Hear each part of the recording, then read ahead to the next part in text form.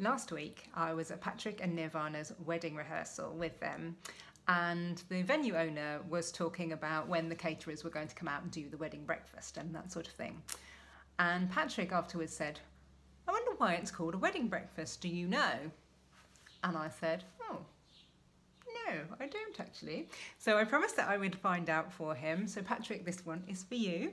And you were right, your suspicion was correct, that actually, apparently it was to do with the fact that in sort of yesteryear, most couples would get married in the church and most of them would have a Eucharistic Mass as part of the wedding ceremony.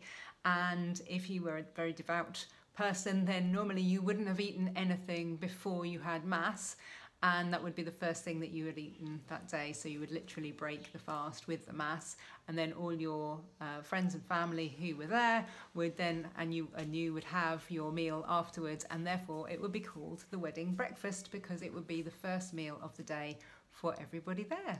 So your suspicion was correct. Thank you for asking the question, and thank you for letting me share it with everybody else. So that's why it's called a wedding breakfast.